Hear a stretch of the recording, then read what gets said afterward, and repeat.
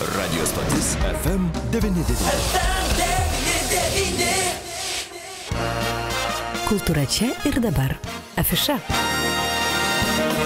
Tikrai, brangus FM99 klausytojai, laikas pasikalbėti apie kultūrą, kuri yra čia ir dabar, nes FM99 studijoje vieši, viešnius iš Alitaus kraštotyros muziejus, tai Deimantė Edukaitė Mikelioninė, laba diena Deimantė. Sveiki.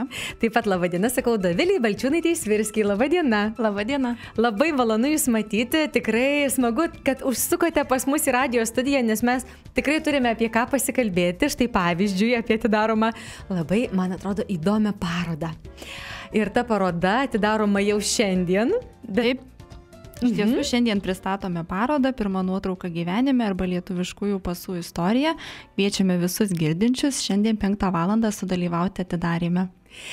Kuomet buvau užsukusi į Kraštotyros muziejaus interneto svetainę, labai labai suintrigavo. Ir, ir ta mm, afiša, ta, ir nuotrauka, ta reklaminė, anonsinė būtent tos parodos. Ir ar jūs galėtumėte papasakoti iš ties, kuo ta paroda ypatinga, kokio laikmečio galbūt tai bus tos nuotraukos. Kviesime patirinėti pirmosius lietuviškus pasus, kurie buvo spausdinti 1917-aisiais, būtent Lietuvoje, Lietuvos apskrityje, vokiečių okupacijos metais. E, tada 22-aisiais buvo kitas etapas. Tiesa, pirmieji pasai buvo spausdinami dviejomis kalbomis, tai yra vokiečių ir lietuvių. Mhm. Ir juose yra labai įdomu, kad atsirado pirmieji gyventojų biometriniai duomenys duomenys. Ką tai reiškia? Tai yra pirmoji nuotrauka, kuri daugeliu žmonių, žvelgiant į nuotrauka, regis, iš tiesų buvo pirmą kartą gyvenime, nes matai susikaustimą, matai kūno kalbą išdavikę. E, taip pat buvo užfiksuoti fiziniai duomenys, tai kokio ūgio ir pastebimai, tarkim, ūgis pakito lyginant su šių dienų žmonėmis, tarkim, moteris vidutinio ūgio buvo 1,45 m, 1,50 m, vyrai kiek aukštesni, nurodyta ir plaukų spalva, akių spalva, taip pat piršto atspaudas, e, pažvelgiai piršto atspaudą lygiai taip pat pastebėsime sakykime, labai pakitusi, nes moteriškas milius e, iš tiesų tai ko gero dvigubai su dabartiniu moters piršto atspaudu, nes išduoda, na, tos darbo rankos. Didesnės. Taip, didesnės. E, taip pat, kaip sakiau, 22-aisiais jau atkūrus nepriklausomybę vėl prasidėjo kitas e, pasų spausdinimo etapas, atsirado dar vienas papildomas dėmuo, tai tarkim žmogaus parašas biometrinis dėmuo ir kaip labai netruksime pastebėti, pažvelgiai į pasus, kad dauguma negebėjo pasirašyti. Taigi buvo nurodyta, kad paso savininkas ar savininkė yra beraštis beraštė. O parodoje pristatysime tik iš Alitaus arba Alitaus krašto e, pasų savininkus. Kaip įdomu, tai kokie įdomus duomenys pasuose būdavo, ar ne? Ir ūgis, ir plaukų spalva, ir... ir Tatuiruotės, jeigu žmonės taip, turėdavo. Irgi aprašydavo, kad turi tatuiruotę. Taip, turėt, nu, turėdavo. Išskirtinės žymės pabrėždavo, tarkim, jeigu karpos, na, piešinį ant kūno, taip ir užrašyta, ar kažkoks tai, tarkim, na, neįgalumas tam tikras, taip pat nurodydamas, nurodomas pasuose. E, vėlesniuose atsirado tokie duomenys kaip vaikai, jų vardai, amžius, sutuoktinis. Nurodomas taip pat ir dalyvavimas rinkimuose. Pase. Taip, pase. Ar atliko savo pilietinę pareigą. Taip pat ir karo prievolė buvo nurodoma. O kiek puslapių būdavo tame pase? Keturi lapai, bet jį viskas telpa, viskas, kas yra svarbiausia. Žinoma, ir tie privalomi duomenys - vardas, pavardė, gimimo metai.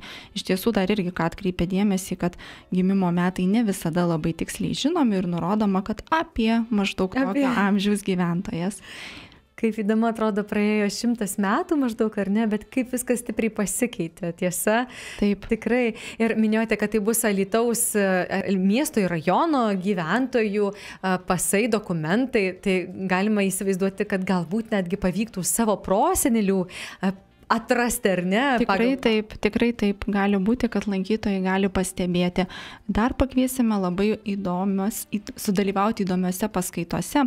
Būtent šie biometriniai duomenys įkvėpė pakviesti Vilniaus universiteto profesorių emeritą Vaidutį Kučinską, kuris papasakos būtent lapkričio 29-16 val kaip keitėsi lietuviai ir jų fiziniai duomenys na, per paskutinį šimtmetį ir dar taip pat apriepiant ir ankstyvesnį laiką. Mm, tai jeigu mes laiko mašiną įsėstume ir nukeliautume tą šimtmetį atgal, tai būtume labai keisti žmonės, ar ne labai Tikrai dideli. dideli ir aukšti. Na, tai um, atidarimas parodos, tai šiandien antradienį 17 val. bet paroda, kiek laiko ją bus galima lankyti? Parodą lankys, lankytojai galės apžiūrėti iki sausio pabaigos. E, taip pat visą eksponavimo laiką kviesime sudalyvauti ir popietėje, ir ekskursijose, taip pat ir daugiau paskaitų turėsim. Fotografijos istorikė Margarita Matulytė pristatys na to meto fotografų darbo sąlygas, įvairias ypatybės, tai gruodžio 6 dieną, sausio mėnesį pakviesime patirinėti lietuviškų pavardžių lietuvinimo kampanijas, nes tai irgi buvo labai labai aktuolus klausimas, ypač išduodant na, piliečiams pasus, nes vis tik pavardės buvo įvairiai užrašomos, tai tas buvo labai aktualu ir į tą laiko procesus kišosi ir kalbininkai, netgi buvo tokia labai svarbi diskusija, ar pridėti moteriškas priesagas jau tuo metu 22 metais kilo, netgi yra neoficialiai išreikšta, kad ir mūsų bendrinės kalbos tėvas Jablonskis turėjo savo poziciją šiuo klausimu, tiesa neoficialiai, bet tikėtina, kad jis vis tik dvėjojo dėl tos priesagų egzistavimo to poreikio, A. bet kadangi pasai jau buvo atiduoti spausdinimui, tai valstybė svarstė, kad tas nuostolis būtų per didelis ir vis tik pasai buvo išleisti tokie, kokie jie buvo su moteriškų priesagų pavartojimo. A, tai va, nu, nuo kur prasideda tas uh, toks, na, feminizmų nepavadinčiau, ar ne, moteriškumo toks, ar ne, atsiskleidimas net ir dokumentuose. Taip. O tai kaip tada būdavo, jeigu ne, nebūdavo moteriškų priesagų? Tai... Na, tarkim, pavyzdžiui, kaip pavyzdys yra pirmuose tuose lietuviškuose vokiečių okupacijos metais išleistuose pasuose, tai tiesiog nurodo Ona Bulvin. Bulvin. Taip, mm. tiesiog be galūnės, be priesagos. Nuo 22-aisiais, kada jau buvo labai svarbu atsikūrus į nepriklausomai Lietuvai formuoti savo įvairius tapatybės ženklus, tai pavardės buvo vienas iš tų ženklų ir diskusijos taip pat kilo.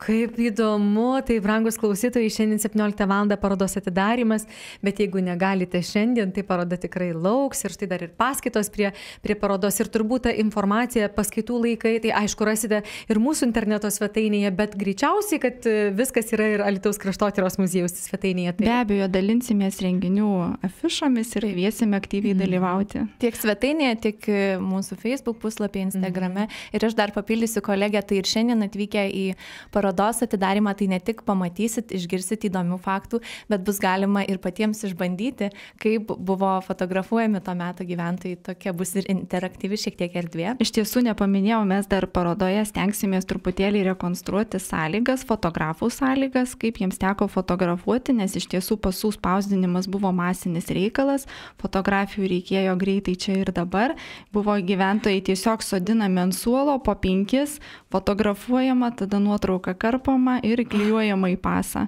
Tai va tas sąlygas truputėlį mes tenksimės, na, sukelti tokį tokia intriga. Mm -hmm. Na, iš ties, manau, kad dauguma lytiškių ir, ir radio klausytojų žino, kad Dovilė jūs esate ir nuostabi fotografė. Tikrai e, ne tik Alitaus kraštotyros muziejaus žmogus dirbantis kraštotyros muziejui, bet ir e, labai talentingai jam žinanti mūsų miesto gyvenimą. Tai jūs, kai um, dabartinėmis technologijomis naudojatės ir, ir dabar matote, kokia yra fotografija ir pamatėte, kokia buvo ir kokiam sąlygom anksčiau fotografavo, koks jūsų įspūdis? Man e, pirmiausia, tai buvo taip labai įdomu, kad E, vat būtent iš tų fotografavimo pasams tie fotografai, nu, toksai buvo pelningas visai uždarbis, ar ne? Ir dabar pagalvoju, kad tiesiog vat, fotogra fotografuotum taip e, vėl pasams ir, ir fotografas iš to gyventų, taip jau taip atrodo neįsivaizduojama, ar ne? Tai iš tiesų labai įdomu palyginti tą istoriją ir kaip viskas pasikeitė kaip, kaip dabar vyksta ir mm, įdomu, įdomu tikrai. Bet tos nuotraukos jos turėjo būti tikrai gana kokybiškos, kad tokį ilgą laiko tarpą ar net keliavo iki mūsų, mes jas galėsime pamatyti. Iš tiesų kokybiškos ir dar irgi kuo įdomu, jeigu mes šiandien paso nuotrauką įsivaizduotumėm iki pusės, tai žmonės buvo fotografuojami visų kūnų, tai reiškia nuo galvos iki kojų. Visas, visas vaizdas. Taip pat matosi, kad irgi žmonės, na, ta, tai yra pirma patirtis gyvenime, rankose atsineždavo palaikyti besifotografuojant ar puokštę, ar nosinę, ar knygą, ar laikraštį. Iš tiesų irgi labai tai yra įdomi. Nebuvo labai didelių reikalavimų, kažkas ir į šoną pasižiūri, ar į viršų. Iš tiesų įdomu gal, kad mažai kas šypsojosi, taip e, Susikaupę. išgastis kažkoks. Toks rimtas reikalas. rimtas reikalas. Na tikrai labai įdomu bus pamatyti. A, tai, brangus klausytojai, nepraleiskime progos apsilankyti Lietuvos kraštotyros muziejuje ir pamatyti šią parodą ir susipažinti su tą aplinką, su tomis galimybėmis buvusiomis tuo metu fotografuojantiems žmonėms ir fotografuojamiems taip pat. Bet aišku, Lietuvos kraštotyros muziejus yra ta erdvė, kur renginių tikrai yra gausu. Aš negaliu nepasinaudoti progą, galbūt jūs galėtumėte papasakoti, jeigu jau lankotės šiandien studijoje, o kas dar bus laukia Taip, kraštotyros tai- muziejuje. Iš tiesų tų renginių tikrai daug. Parodas atidarinėjame e, vieną po kitos. Vat ir praeitą savaitę e, atidarėme Gabijos Labutytės fotografijų parodą Lietuvos kraštotyros muziejui. Šiandien pasų paroda, e, kitą savaitę Kalvio restauratoriaus e, Adomo Sviklo e, paroda atidaroma, e, grafikos ir e, skulptūros. E, Iš tiesų labai smagu, kad įsibėgėja ruduo, įsibėgėja ir mūsų šeštadieninės priešpietės. Tai ir šį šeštadienį e, taip pat kviečiam jau į archeologijos muziejų. Tenai na, prisiliesim daugiau prie keramikos ir žinoma ir patys išbandysim, kas jau labai būdinga mūsų šiom e, šeštadieniniam priešpietėm. Kiek vėliau, kitą šeštadienį, spalio 26, e, 11 val. Jau vėlgi Lietuvos kraštotyros muziejuje tokia labai šilta edukacija ir tiesioginė ir per, perkeltinė prasme, tai kviesime lieti žvakes Aha. ir, ir tuo senoviniu būdu ir, ir būtent na, naudojant naujas e, tas technikas. Na ir žinoma, tos šeštadienės priešpietės laukia ir visą lapkritį, ir, ir gruodžio e, pradžioje, tai prasidės jau tas šventinis laukimas. Ir, ir žinoma, kviesim ir vainikų pasigaminti, ir kitų galbūt kalėdinių žaisliukų. Mhm. Ir, ir vėlgi apims ne tik centrinį tą muziejų, bet ir Matučio muziejų, archeologijoje. Tai tikrai labai kviečiam ir laukiam. Kas yra e, svarbu klausytojams žinoti, kad į šeštadieninės priešpietės reikėtų užsiregistruoti, nes labai daug norinčių e, Taip. ir iš tiesų pas- Skaičius ribotas iš tiesų, kad Mhm. užtektų visiems e, na, tų reikmenų, kaip minėjau, visada būna labai daug praktikos tuose užsiemimuose. Tai tiesiog e, reikėtų skambinti ir registruotis, o telefonas tai mūsų svetainiai, Facebook'e, bet kurie tikrai rasite. Mhm.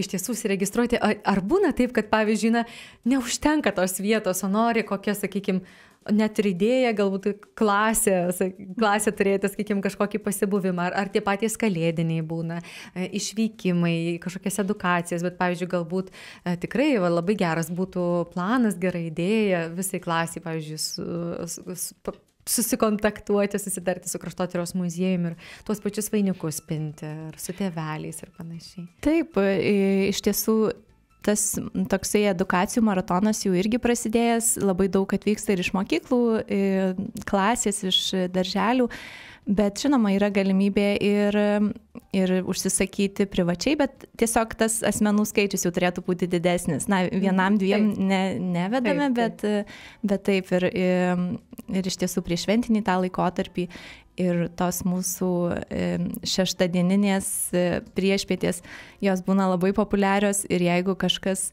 na, jau būna prisipildžius grupėje, skambina, paliekam rezervę, jeigu kažkas atsisakytų, tai tiesiog kviečiam, kad tikrai būtų visos vietos užpildytos, nes žmonės labai noriai ateina.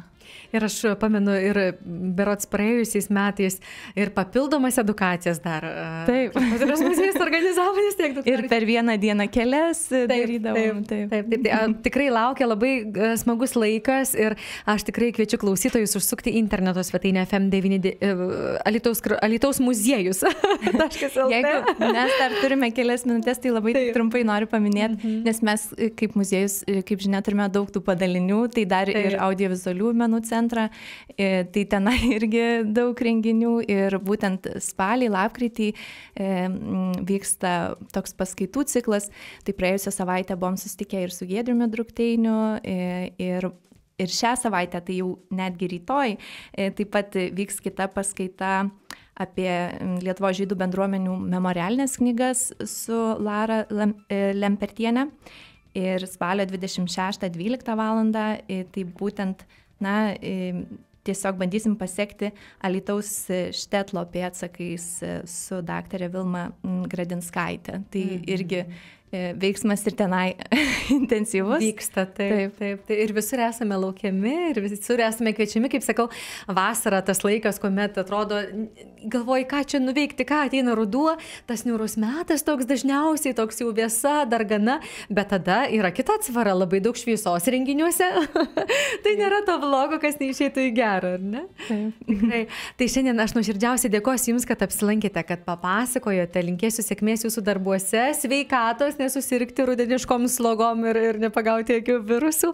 O klausytojams priminsiu ir dabar jau nepadarysiu klaidos įvardindama, alitaus muziejus.lt interneto svetainėje tikrai galima atrasti ir kontaktus, ir, ir kur kokie renginiai vyksta, ir užsiregistruoti, ir, ir panašiai. O jeigu mažiau naudojatės interneto erdvėmis, tai tiesiog, man atrodo, drąsiai galima atkeliauti į Lietuvos kraštotyros muziejų.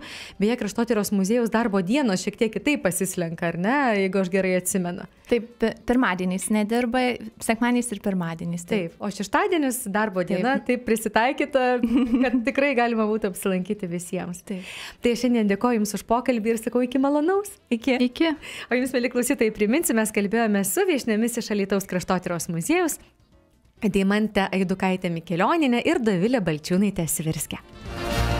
Kultūra čia ir dabar. Afiša.